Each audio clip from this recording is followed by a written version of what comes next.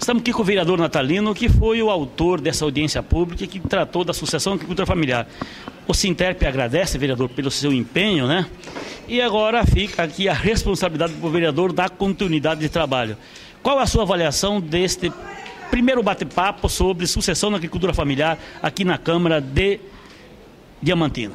Olha, Gilmar, sem sombra de dúvida, foi um excelente audiência. Eu vejo que a população em si mostrou interesse próprio e agora nós plantamos apenas uma sementinha, como eu disse. Agora a gente tem que regrar ela para futuramente ceder bons frutos. Eu acredito que agora, a partir de agora, nós vamos ter mais outra reunião para nós debater mais essa, sobre essa audiência. Muito obrigado, meu vereador. E nós vamos te cobrar, porque você é o representante da agricultura familiar no município rico, é, aqui numa Câmara onde é muito disputado e nós vamos torcer que você permaneça aqui. Sem sombra de dúvidas, a gente está aí pra gente, o povo colocou a gente aqui para a gente ser representante do povo. E acho que a gente merece ser cobrado e cobrar também para que as soluções cheguem a ser resolvidas. E dizer que essa discussão é o início de uma discussão onde a gente precisa ampliá-la, trazer de fato jovens para participarem dessa discussão, que nós estamos tratando da, da sucessão da agricultura familiar. Sucessão é quando os, os jovens continuam a exercer aquilo que os pais fazem no campo. Então nós precisamos da presença dos jovens é, para estar discutindo isso. De que forma é, mantê-los no campo com renda e qualidade de vida. Essa discussão é de suma importância com a presença deles, para que nos direcionem, para que a gente consiga junto discutir e encontrar caminhos para que a gente possa levar é, renda, qualidade de vida, é, esporte, lazer, cultura e que dê condição desses jovens continuarem aquilo que seus pais vêm fazendo ao longo do tempo, aquilo que seus avós fizeram ao longo do tempo, mas com uma qualidade diferente, com esperança, com condição de eles enxergarem um futuro melhor aonde consigam ter aquelas, é, aqueles benefícios que eles vislumbram na cidade. Precisamos sim, agora no Instituto, aqui buscar capacitação nas áreas de produção para nossos jovens terem interesse em aprender a produzir que nossos pais, nossos avós sempre souberam produzir, mas talvez não souberam administrar como empresa é, a sua propriedade para que ela desse resultados ainda maiores que dão hoje e que é o que o jovem busca hoje, a condição de ter um carro, de ter uma moto, de ter uma casa boa, mas que ele enxergue que tudo isso é possível lá no campo. Que se tiver condição de trabalhar, condição de comercializar, com apoio dos órgãos públicos, com apoio das instituições de assistência, com as instituições de ensino, isso é possível. Então nós precisamos sim levar essa discussão cada vez mais e trazer os jovens para dentro dela. A gente sabe que é um primeiro passo. Dizer que quero é agradecer à Câmara Municipal por ter aí atendido o requerimento aí das entidades em, em realização dessa dessa audiência pública voltada diretamente à agricultura familiar e à Associação Rural da Juventude. Também a Empaer pelo empenho, que não demonstrou assim é, fraqueza para que isso também realizasse, correu atrás da realização juntamente com a Empaer, a, a Nela que é sempre esforçada nesse sentido, e dizer que a sucessão rural ela é um tema já debatido a nível nacional, que vem se debatendo ao longo dos anos. O movimento sindical ele já tem é, feito realizar vários encontros a nível nacional, a nível estadual, a nível nacional. Tem o lançamento do projeto alternativo de desenvolvimento rural sustentável e solidário, onde vem buscar e vem trazer também é, formas de manter a juventude no campo, mas sabendo que não é fácil, é difícil, porque a juventude ela é um caminho que se começa onde os pais já estão é, com certa idade cansados e onde a, a juventude às vezes deixa aquele trabalho, aquela meta no caminho porque não consegue chegar. Falta apenas de recurso, falta de sobrevivência, falta de estrutura. Né? Nós sabemos que para manter um jovem lá no campo não é fácil. Nós precisamos de ter uma renda sustentável, um projeto de desenvolvimento com alternativas é, de renda para que ela tenha qualidade de vida, tenha condições melhores de vida. Nós sabemos que é, o jovem ele tem o, na, na, mente dele é, um ideal de novos horizontes, de coisa nova, uma inovadora, uma coisa mais, é, mais técnica, enquanto a ideia dos, dos pais ainda era um pouco mais heterógena. É, os caminhos são longos, o caminhar é lento. A gente está vendo ali um quadro lá no fundo, água. E nós começamos essa discussão um pouco tardia, porque a alimentação é tão fundamental quanto a água.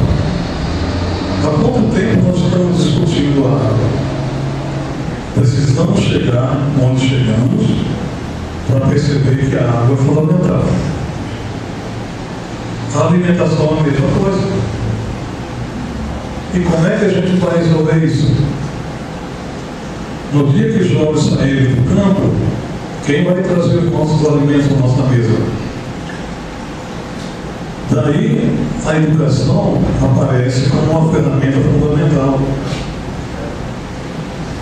Principalmente a educação do campo. Que aqui, graças a Deus, a gente já começou isso há algum tempo está mostrando bons resultados, está desenvolvendo, nós chegamos num lugar onde os jovens não davam o seu endereço, porque tinha vergonha de dizer que morava na Cojuí. Hoje isso mudou, é diferente. Agora, tem uma coisa, que toda mídia constrói um sonho urbano para todo mundo. Vocês vão ver uma propaganda, um anúncio de um herói que esteja do campo. É do urbano. Os sonhos são todos urbanos. Então o jovem do campo começa a sonhar em vir para a cidade. Tem até uma frase que diz, eu vou estudar para ir para a cidade, ou vou para a cidade para estudar. Mas as duas hipóteses terminam saindo do campo. Neste momento eu convido o senhor Gilmar Antônio Bruneiro para que dê início à sua palestra. Agradeço pela oportunidade que está dando para nós estarmos debatendo um assunto tão importante. E agradecendo ao vereador Natalino, agradecemos aqui à Câmara Municipal por esta oportunidade. Um agradecimento especial aqui aos colegas da Empaé, Joel, Amélia, Josi, por ter atendido uma solicitação do sindicato para este evento. Cumprimentamos aqui o nosso coordenador regional do Ipaé, ex-prefeito Arnaldo, uma pessoa bastante experiente, comprometida com a agricultura familiar. Cumprimentamos aqui o secretário de Agricultura do município, Cláudio Diomar. Cláudio Diomar, obrigado pela presença, né, pelo, pelo espírito assim, coletivo de poder atender a agricultura familiar. Cumprimento aqui o seu Aparício, né? Eu agradeço também de ter atendido o nosso pedido ao presidente do sindicato Lecido, para sua presença. Estou conhecendo agora a, a professora do FMT, né? Está no rumo certo, parabéns pelas palavras aqui. Né? Está aqui o MD Regional, da Saúde, os professores, Secretaria de Saúde, né? INCRA, né? E então agradecer a presença principalmente dos agricultores e agricultoras que aqui estão para debater um assunto tão interessante. Eu sou Gilmar Antônio Bruneto, sou presidente do SINTEC, que é Sindicato dos Trabalhadores da Assistência Técnica, Escolar e Pesquisa Pública de Mato Grosso, que envolve os empregados da Embraer. Também sou coordenador nacional da Federação dos Trabalhadores da Assistência Técnica e Rural do Brasil. Sou técnico em agropecuária, filho agricultores lá de Aratiba, Rio Grande do Sul, onde 100% dos agricultores lá eram pequenos agricultores lá no Pittsburgh. E hoje, lá que era só pequeno agricultor, somos estão lá os agricultores por acima de 50 anos. Então é um problema nacional a questão da, Associação de Agricultura Familiar. O nosso sindicato, ele não está só preocupado com a questão salarial. Né? Dizemos que a nível salarial nós conseguimos avançar significativamente. Mas para você ter o salário, você tem que ter o trabalho, né? você tem que ter o emprego. Para ter o emprego, você tem que ter o agricultor. E do jeito que está indo, para nós mantermos o nosso emprego também, nós precisamos que o agricultor também se mantenha no emprego. Senão não vão virar gente prisional, virar polícia, virar porque vem tudo para a cidade. Nós vamos atender quem? Então o nosso sindicato está extremamente preocupado com a questão da, da, da vida da agricultura familiar. Porque hoje, não é só aqui, no Brasil inteiro, a maioria que está no campo hoje são agricultores e agricultoras acima de 60 anos. E a grande maioria tem como principal fonte de renda o INSS. Né? A hora que em 10 anos esse pessoal vai estar com 70, né? Por mais que com 70 anos ainda dá para pegar uma machado, derrubar uma madeira lá, tá, contra uma secotada, né? Correr atrás de uma vaca lá para tirar o leite, mas já meio cansadinho, né? E as mulheres também. O que, que vai acontecer com essas propriedades que estão sendo buscadas. Por exemplo, os assentamentos agora, uma briga, uma luta intensa para conquistar a terra. Se os filhos não ficam lá, o que, que vai acontecer com essas propriedades? Por quê? Pode que o pai e a mãe fechar o olho, uma briga danada para dividir, vem daqui, vem ali, vai virar novamente grandes propriedades. Então, é uma tarefa extremamente difícil essa, professora, secretária vereador, pelas autoridades aqui.